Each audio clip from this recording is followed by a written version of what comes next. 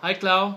Um, happy birthday. I wish I was there to celebrate your birthday with you, but I'm so, so far away. I'm in LA right now. Pero happy birthday. I hope you enjoy your birthday. Like always. Again, happy birthday. Love you. Mwah.